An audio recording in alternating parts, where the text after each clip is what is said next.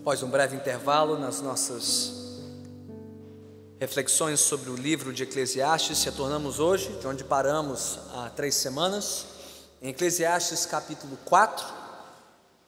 Hoje meditaremos em todo este capítulo, capítulo inteiro deste livro, Eclesiastes 4, versículos 1 a 16. Você já pode abrir a sua Bíblia para acompanhar a leitura conosco e vamos ficar de pé em reverência à leitura da palavra de Deus. Diz assim a palavra do Senhor, conforme registrada no livro de Eclesiastes, capítulo 4, a partir do versículo 1. De novo olhei e vi toda a opressão que ocorre debaixo do sol. Vi as lágrimas dos oprimidos, mas não há quem os console. O poder está do lado dos seus opressores e não, e não há quem os console. Por isso considerei os mortos mais felizes do que os vivos, pois estes ainda têm que viver. No entanto, melhor do que ambos é aquele que ainda não nasceu, que não viu o mal que se faz debaixo do sol. Descobri que todo trabalho e toda realização surgem da competição que existe entre as pessoas. Mas isso também é absurdo é correr atrás do vento. O tolo cruza os braços e destrói a própria vida. Melhor é ter um punhado com tranquilidade do que dois punhados à custa de muito esforço e de correr atrás do vento. Descobri ainda outra situação absurda debaixo do sol.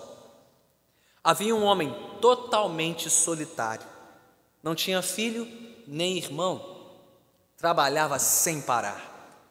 Contudo, seus olhos não se satisfaziam com a sua riqueza. Ele sequer perguntava: Para quem estou trabalhando tanto e por que razão deixo de me divertir? Isso também é absurdo. É um trabalho por demais ingrato. É melhor ter companhia do que estar sozinho, porque maior é a recompensa do trabalho de duas pessoas. Se um cair, o amigo pode ajudá-lo a levantar-se. Mas pobre do homem que cai, não tem quem o ajude a levantar-se. E se dois dormirem juntos, vão manter-se aquecidos. Como, porém, manter-se aquecido sozinho? Um homem sozinho pode ser vencido, mas dois conseguem defender-se. Um cordão de três dobras não se rompe com facilidade. Melhor é um jovem pobre e sábio do que um rei idoso e tolo, que já não aceita repreensão. O jovem pode ter saído da prisão e chegado ao trono, ou pode ter nascido pobre no país daquele rei. Percebi que ainda assim o povo que vivia debaixo do sol seguia o jovem, o sucessor do rei. O número dos que aderiram a ele era incontável. A geração seguinte, porém, não ficou satisfeita com o sucessor. Isso também não faz sentido. É correr atrás do vento. Louvado seja o Senhor pela Sua palavra. Oremos. Soberano Deus, ao meditarmos mais uma vez sobre estes retratos da vida absurda debaixo do sol, que a luz da tua glória e da tua graça resplandeça sobre nós, a fim de que possamos fazer sentido deste mundo aparentemente sem sentido sem esperança e sem razão. Que o Senhor nos conceda da tua sabedoria do teu discernimento, do teu santo temor, para vivermos vidas conforme a tua vontade, para o louvor da tua glória. Oramos assim em nome de Cristo Jesus. Amém. Podemos assentar.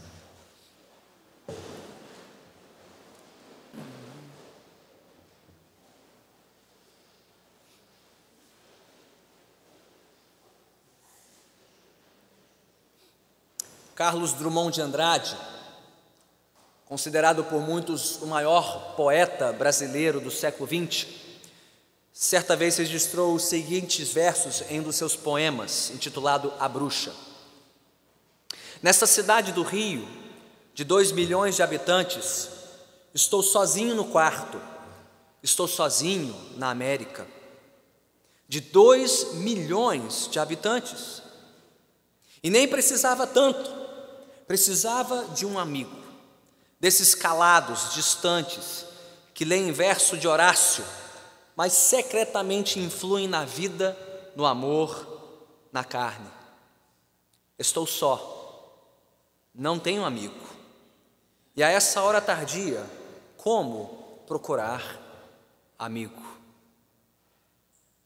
Bem, mesmo agora que a nossa cidade do Rio de Janeiro já acumula 6 milhões, não mais dois, mas 6 milhões de habitantes, vivendo numa das gerações mais conectadas da história, a solidão descrita aqui por Carlos Drummond ainda aflige uma multidão incontável em nossas vizinhanças, em nossos locais de trabalho e, pasmem, até mesmo dentro da própria igreja.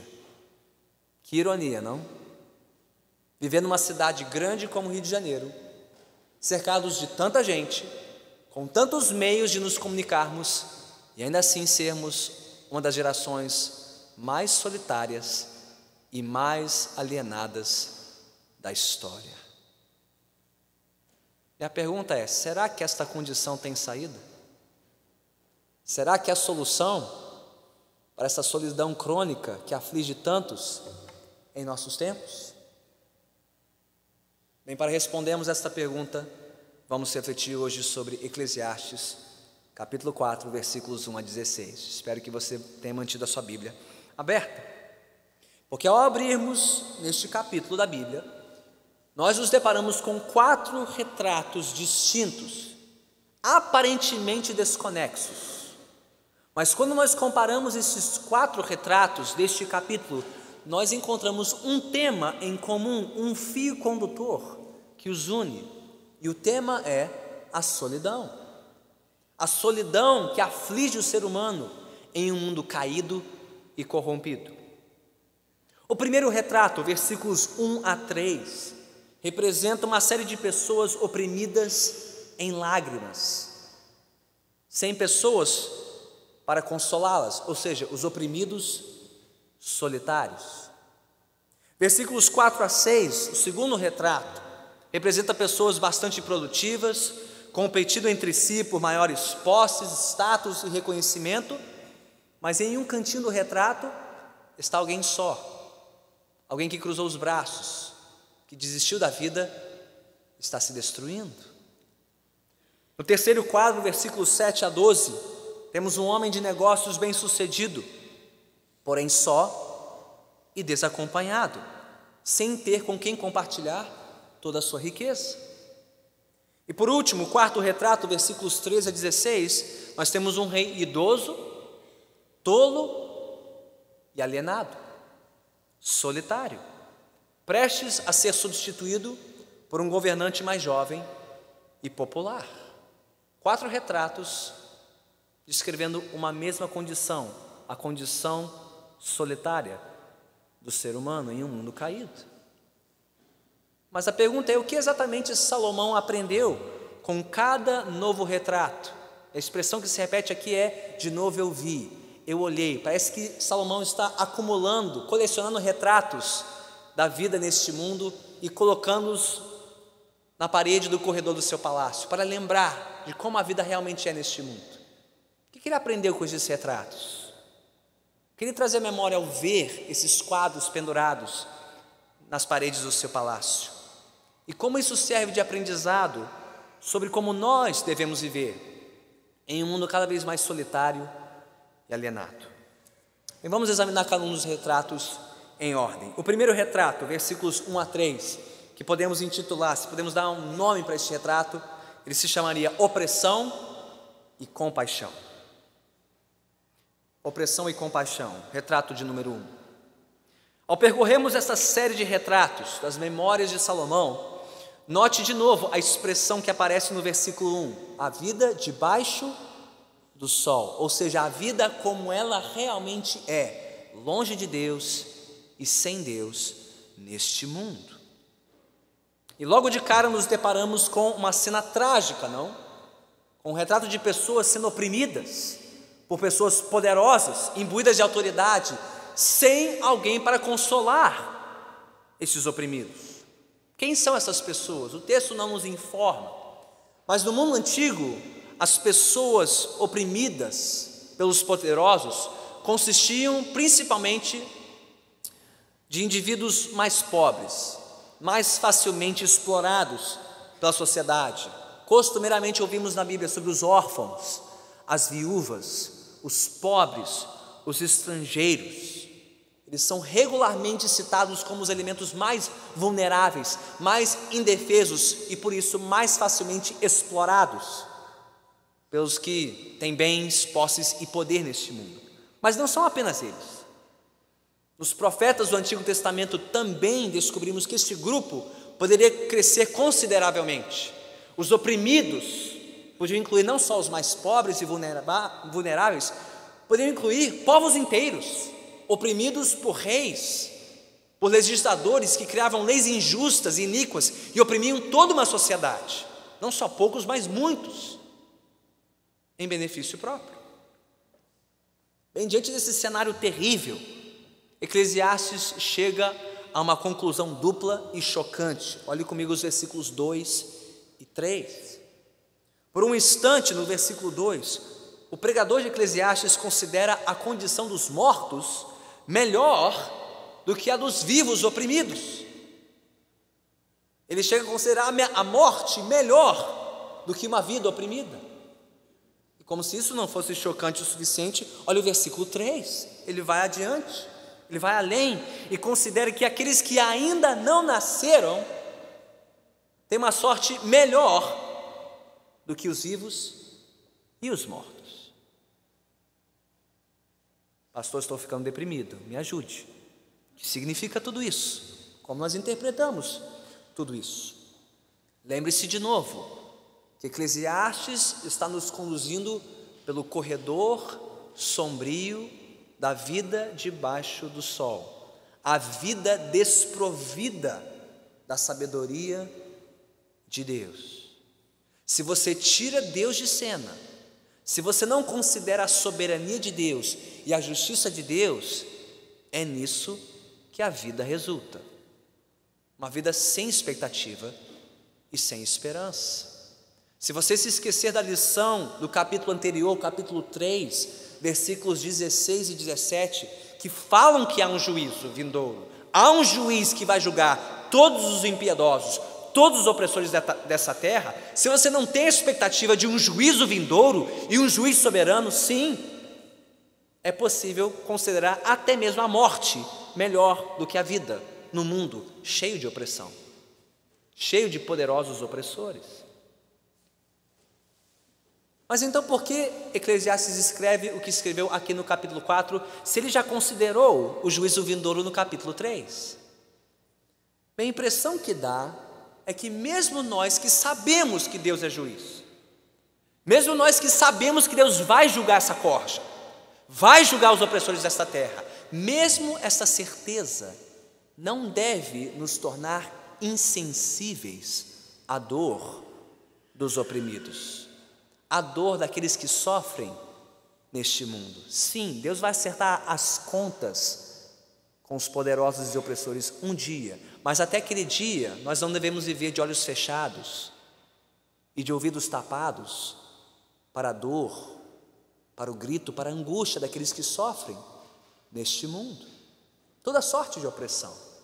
Por exemplo, a dor dos pobres e dos marginalizados, que são oprimidos por uma configuração social, econômica e política que explora a ignorância dos pobres que perpetua a ignorância e a pobreza dos menos favorecidos nas mãos de homens poderosos. A dor das nossas crianças, que são oprimidas nas escolas por ideologias imorais e diabólicas. As nossas crianças oprimidas por um sistema de educação que as impede de pensar por conta própria, de pensar criticamente sobre o mundo ao nosso redor a dor dos que ainda não nasceram e que na barriga da sua mãe são chacinados, oprimidos por uma sociedade que valoriza mais a vontade própria do que a santidade da vida. A dor de uma nação que sofre a restrição dos seus direitos e das suas liberdades na mão de legisladores, de juízes, de grupos de interesse que sacrificam a nação, que oprimem a nação para defender suas regalias e mordomias. Comendo lagosta, caviar e outras iguarias tais, enquanto o povo morre de fome. Isso é ou não é opressão? Mas ainda há uma pior que todas essas, e é a opressão que cobre a maior parte do povo desta nação. É a dor de um povo oprimido pelo seu pecado, pela escravidão ao seu pecado, oprimido pela sua rebeldia contra Deus, contra o nosso Criador. E é esta opressão que está por trás de todas as dores e todas as angústias e todas as aflições que nós vemos ao nosso redor. Então, quem pode nos trazer consolo em meio a tanta opressão? Eclesiastes não responde, mas o Evangelho sim. Porque no Evangelho nós somos apresentados a Jesus Cristo, aquele que foi oprimido por homens poderosos, aquele que sofreu na homem, na, nas mãos de homens opressores aquele que perdeu a sua vida no Calvário para tomar sobre si a opressão do nosso pecado, a nossa culpa, o castigo da nossa rebeldia contra Deus, aquele que sofreu a pior das opressões, para que nós pudéssemos desfrutar do seu perdão e da sua salvação. É em Cristo que encontramos o consolo e o conforto que este mundo tanto procura em tantos lugares diferentes. E para nós que já conhecemos o consolo de Cristo e da Sua graça, Cristo nos envia para este mundo para sermos consoladores, para consolarmos os que são oprimidos, para consolarmos aqueles que sofrem todo tipo de opressão, que sofrem materialmente.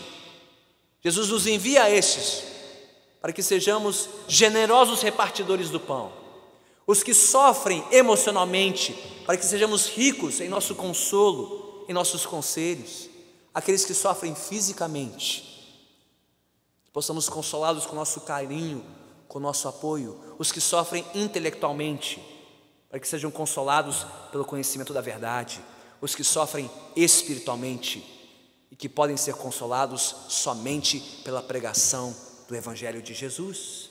Deus nos envia este mundo como um exército de consoladores, aqueles que são oprimidos de tantas maneiras e ainda não conhecem o consolo de Jesus. Mas este é só o primeiro retrato.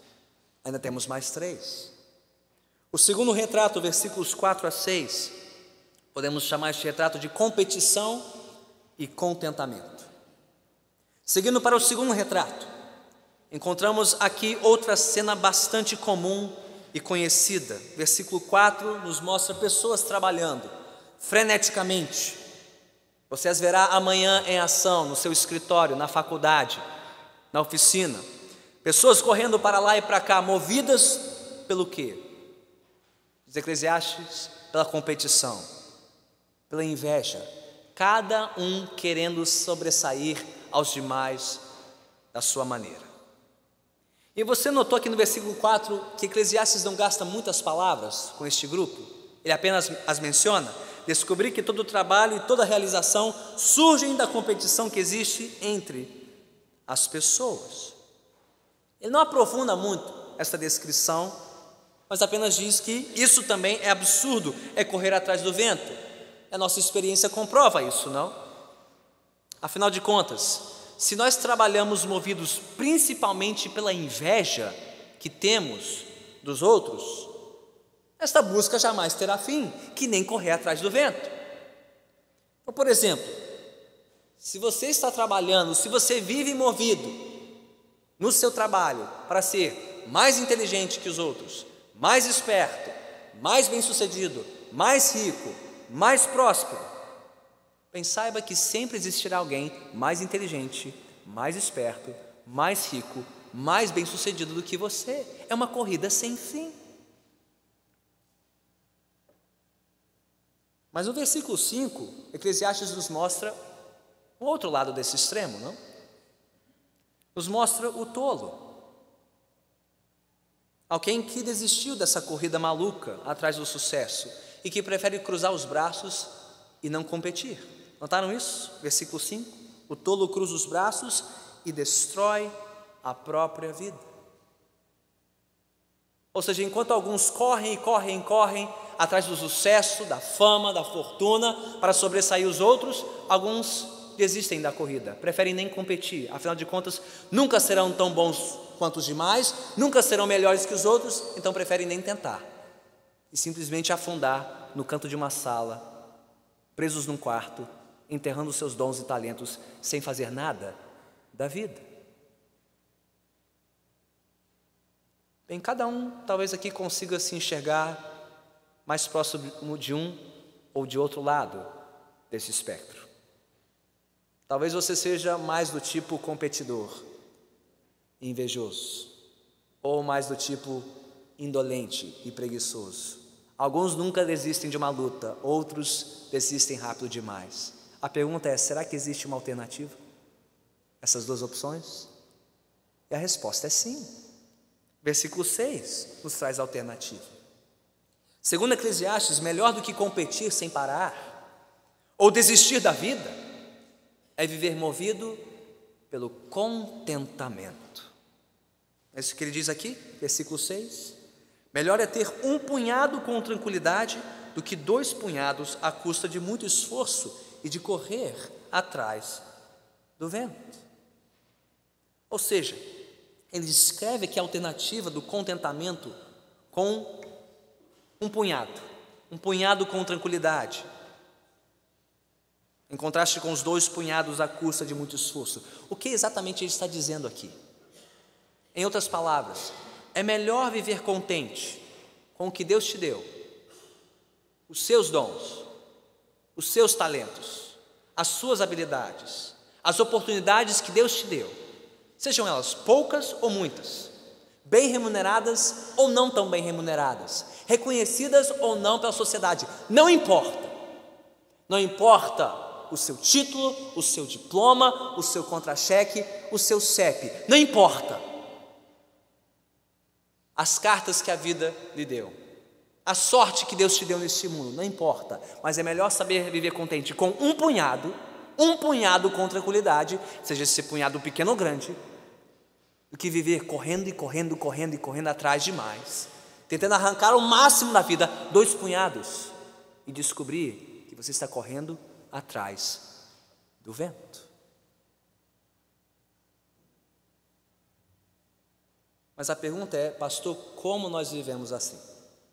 Ainda mais na nossa sociedade, que alimenta, que fomenta essa competição desenfreada, essa insatisfação crônica, esse descontentamento com tudo, quem nós somos, o que temos, o que fazemos, que quer nos sentir descontentes com o nosso corpo, com a nossa casa, com a nossa condução, com a nossa carreira, com a nossa família. Como viver assim? Bem, somente se você encontrar a sua satisfação e o seu contentamento primeiro naquele que te criou, naquele que nos fez, o nosso Criador, Senhor e Salvador, Jesus Cristo. Aquele que, mesmo sendo soberano Deus, contentou-se em se tornar um servo e um servo sofredor, aquele que se fez menos do que era, justamente para nos libertar dessa corrida maluca atrás de sucesso, fama e felicidade longe dele.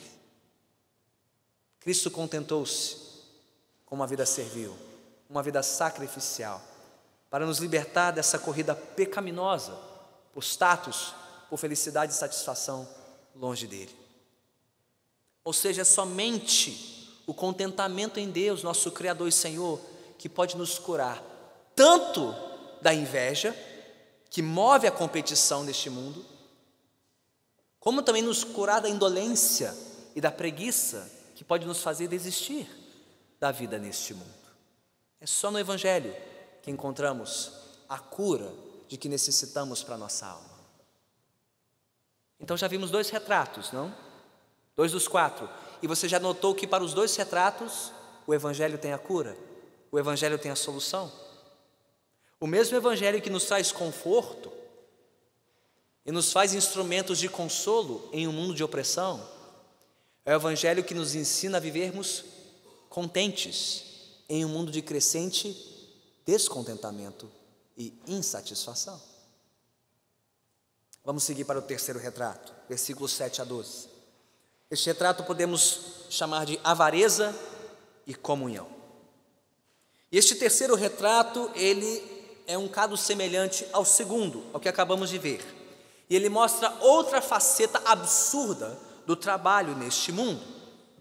Neste caso agora, nos versículos 7 e 8, Eclesiastes considera o homem movido por ambição, por ganância, por avareza, alguém consumido pelo desejo de enriquecer, a ponto de não ter com quem compartilhar toda a sua riqueza. E o homem é tão possuído pelo desejo de ter mais, de ser mais rico, que ele sequer para para pensar no absurdo que é sua vida. Notaram isso? Versículo 7 e 8. Descobri ainda outra situação absurda debaixo do sol. Havia um homem totalmente solitário não tinha filho nem irmão, trabalhava sem parar, contudo, seus olhos não se satisfaziam com a sua riqueza. E ele sequer perguntava: para quem estou trabalhando tanto e por que razão deixo de me divertir? Isso também é absurdo, é um trabalho por demais ingrato. E aí eu fico me perguntando: o que, que esse sujeito fazia da vida? Qual era o ramo de trabalho dele? Não, sério, quantas horas ele trabalhava por dia? Quantas horas ele contabilizava ao final da semana? Será que ele tinha uma esposa? Será que ele era casado? O texto só diz que ele não tinha nem irmão nem filho, o que não impede de ser casado. Aí da esposa deste homem, se ele era casado. E quão rico ele era? Será que a riqueza que ele já tinha acumulado não era o suficiente para torná-lo pleno, feliz? Bem, o texto não responde todas as nossas perguntas, mas ele deixa claro que a vida desse homem era absurda e por demais ingrata. Mesmo quando consideramos apenas a vida dele do ponto de vista do seu trabalho. E por isso, nos próximos versículos, dos versículos 9 a 12, Eclesiastes nos apresenta quatro ilustrações para mostrar que se este homem apenas considerasse a qualidade e a recompensa do seu trabalho, ele deveria escolher um caminho melhor. E talvez estes sejam os versículos mais conhecidos de Eclesiastes 4, e alguns dos versículos mais conhecidos de toda a Bíblia. Você os encontra em cartõezinhos de dia do amigo, dia que está chegando, ou em cerimônias de casamento. E sim, nós veremos que as lições se aplicam aqui também à amizade e também a casamento, mas a aplicação original aqui é para o trabalho. Está falando sobre a importância de companhia e comunhão no trabalho. E todas as imagens se aplicam a um trabalhador do mundo antigo, principalmente aqueles que andavam pelo mundo antigo, no campo e na estrada, para fazerem negócios. Olhe comigo para o texto e veja como o texto corrobora essa ideia. Primeiro, versículo 9, primeira ilustração é a ilustração de uma recompensa melhor, um trabalho melhor remunerado de duas pessoas, ao invés de apenas uma. É melhor ter companhia do que estar sozinho, porque maior é a recompensa do trabalho de duas pessoas. É o ambiente do trabalho aqui. É o famoso duas cabeças pensam melhor do que uma. Duas cabeças conseguem pensar mais e produzir mais e criar mais do que apenas uma. E eu fui lembrado disso esse final de semana mesmo. Eu estava com muita dificuldade de encontrar uma boa introdução para este sermão. Então, como de costume, eu compartilhei meu esboço com o pastor Marcelo, que me apresentou um excelente poema de Carlos Drummond de Andrade. Duas cabeças pensaram melhor do que uma. Eu disse: Ah, eu vou usar isso. Licença, pastor Marcelo. Ele disse: Pois não. E eu usei o poema. E o sermão foi melhor por causa disso. Duas cabeças pensando melhor do que uma. Podem ser dois pastores, podem ser dois alunos, podem ser dois professores, podem ser dois médicos, dois músicos, dois advogados, o que seja. Mas só do ponto de vista do trabalho, diz Eclesiastes, melhor é serem dois do que um. Mas não é só no nível da recompensa, do fruto do trabalho. Ele avança a imagem versículo 10. A imagem aqui é de dois viajantes, ou pelo menos um viajante, tentando viajar sozinho no escuro na noite sem ver onde pisa. E se ele tropeçar e cair num buraco, viajando sozinho, quem vai socorrê-lo? Diz o texto, versículo 10: se um cair, o amigo pode ajudá-lo a levantar-se. Mas pobre do homem que cai, não tem quem o ajude a levantar-se. Ou seja, o auxílio de um colega é insubstituível em tempos de necessidade. Quando um tropeça numa tarefa, ou num projeto, ou num prazo, no trabalho, também é melhor serem dois do que um. Ele continua na terceira ilustração. Ele diz, pastor, chega, né? Porque agora o versículo 11 certamente está falando de casamento. Que história é essa? Trabalhadores dormindo juntos para se aquecer. Calma, lembre-se de novo do contexto do mundo antigo. Noites longas, escuras, frias.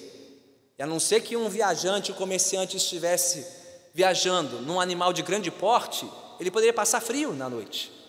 Se ele só tinha um animal de grande porte, a ideia era literalmente dormir deitado ao lado de um animal que pudesse aquecê-lo.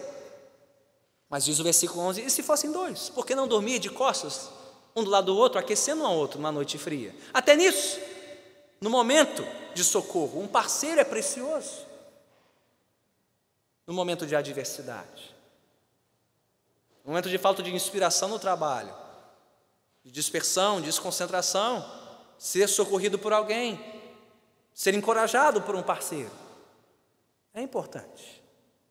E por fim, versículo 12, a quarta e última ilustração. Eclesiastes mostra que a proteção de um companheiro é imprescindível no momento de oposição e hostilidade. A ideia aqui, de novo, é de um viajante sozinho, talvez sendo surpreendido por um ladrão, um salteador, alguém que quisesse roubá-lo, é sua carga, na estrada. E ele diz: um homem sozinho pode ser vencido, mas dois conseguem defender-se. Então ele fecha essa série de ilustrações no fim do versículo 12 com um dito, um provérbio muito conhecido por sinal no mundo antigo, um cordão de três dobras não se rompe com facilidade e sinto frustrá-lo. Isso aqui não é uma alusão à Trindade, não é uma alusão a Jesus entre marido e esposa. Sinto muito. Isso aqui era a maneira antiga de dizer a união faz a força. Como é que os antigos diziam: a união faz a força, um cordão de três dobras não se rompe com facilidade. É simples. Tão simples assim. Quanto maior for a liga, a estrutura, mais difícil será de ser desfeita. A união faz a força. É isso que ele está dizendo aqui, de forma muito simples. Ok, pastor, eu entendi como isso se aplica ao nosso trabalho, mas é só se aplica ao trabalho. Será que não podemos fazer aplicações aqui também para a vida no lar, para a vida na igreja? E a resposta é claro que sim. Isso se aplica primeiramente ao nosso trabalho, mas não exclusivamente ali. Afinal de contas, de que adianta um homem ser rico, um homem ser bem-sucedido em seu trabalho, sem ter com quem compartilhar o fruto do seu trabalho em casa? Afinal de contas, quem é o chefe, quem é o colega de trabalho, ou bem ou patrimônio que for, que pode providenciar o conforto e o consolo, o companheirismo e o calor que somente a esposa e os filhos podem providenciar. Portanto, irmãos, e aqui vai um recado especialmente para os jovens, os mais jovens no recinto. Por que ficar adiando os planos para a família e para os filhos? achando que você encontrará uma vida mais feliz e mais satisfeita no seu trabalho, na sua pós-graduação, no seu salário melhor e não na companhia dos seus entes queridos. Deus jamais disse do ser humano: não é bom que ele seja rico, ou não é bom que ele seja pobre. Deus jamais disse do ser humano: não é bom que ele seja famoso, não é bom que ele seja anônimo. Mas Deus disse do ser humano: não é bom que ele viva só. Isso não vai na contramão da nossa cultura, que diz que é melhor ser só? Não só melhor só do que mal acompanhado, melhor só do que qualquer tipo de companhia. Isso não é o grande sonho da nossa sociedade, ser independente, não depender de ninguém, conquistar sua independência, viver a vida feliz solitária? Pois bem, Eclesiastes diz exatamente o contrário: que a felicidade não mora no caminho da solidão e da independência, a felicidade se encontra na vida de comunhão e dependência mútua seja no trabalho, seja na família e, por que não, também na igreja. Porque é quando mais vivemos um com o outro e um pelo outro que vivemos mais.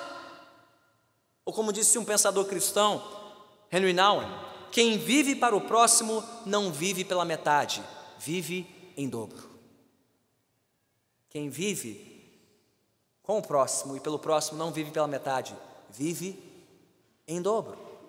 Isso vale para o trabalho, isso vale para a família e sim, isso vale também para a igreja, a vida do povo de Deus. Porque Deus não nos salvou, Ele não nos chamou para vivermos como cavaleiros solitários da fé. Não, quando Deus nos salvou em Cristo Jesus, Ele nos chamou para fazermos parte de uma família, de um povo, de um corpo que cresce e edifica-se a si mesmo com a ajuda de todos os membros deste corpo. Irmãos e irmãs, é na comunhão, é no compromisso com a membresia de uma igreja local, onde recebemos consolo, conforto e encorajamento. Por meio da pregação da palavra, por meio do pastoreio pessoal, por meio da prestação mútua de contas, por meio da oração, e da intercessão uns pelos outros, do aconselhamento mútuo, do apoio e do socorro em momentos de necessidade. Afinal de contas, quem é o pregador de YouTube? Quem é o teólogo de rede social que pode providenciar o consolo e o conforto que só uma igreja local pode providenciar, por meio da multiplicidade dos seus dons, talentos e membros? Se uma igreja pode ser substituída por YouTube e rede social, ela deveria ser substituída por YouTube e rede social. Mas a igreja é muito mais que isso. Muito mais do que um relacionamento virtual à distância. É um relacionamento vivo, pessoal, com Cristo e com a sua família aqui na terra. Então, mais uma vez, observamos como o Evangelho representa a solução para o problema dos absurdos solitários desta vida? Lembre-se que é no Evangelho que encontramos consolo e conforto em meio à opressão deste mundo. É no Evangelho que encontramos contentamento em um mundo imerso na competição invejosa.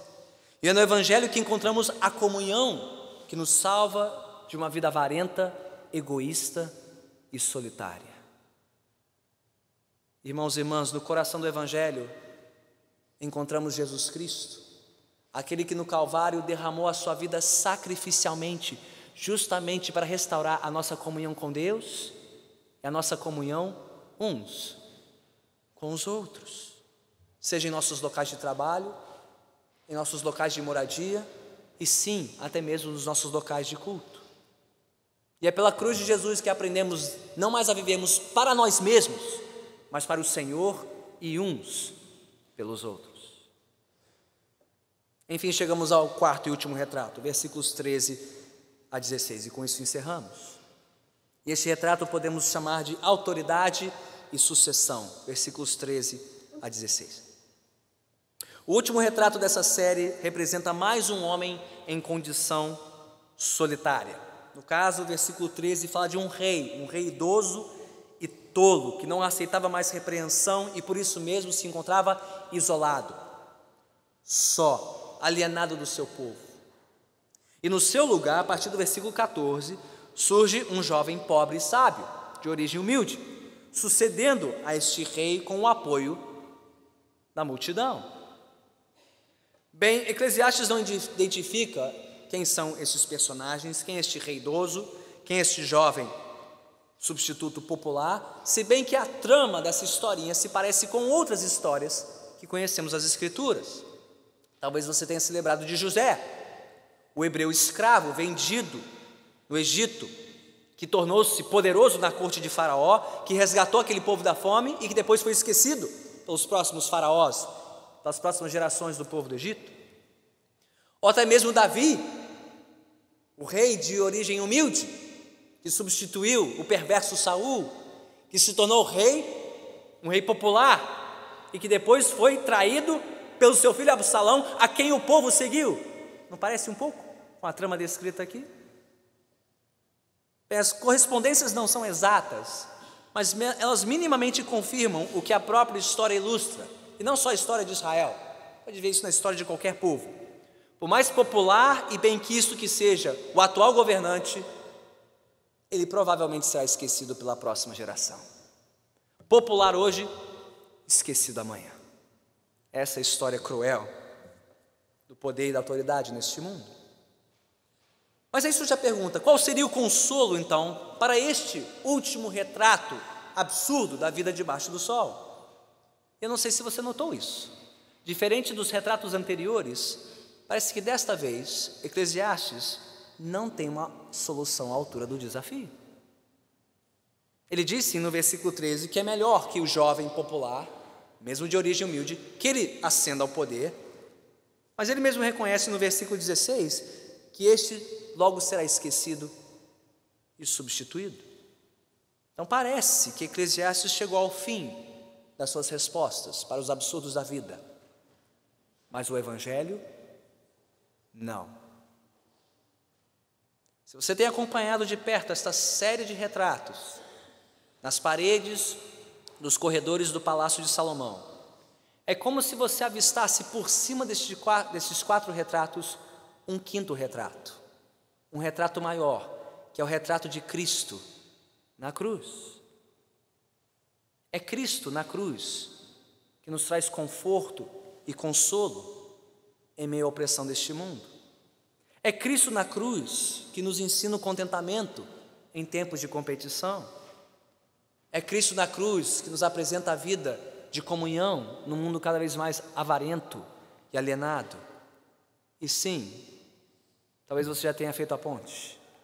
Cristo na cruz reflete perfeitamente este último retrato.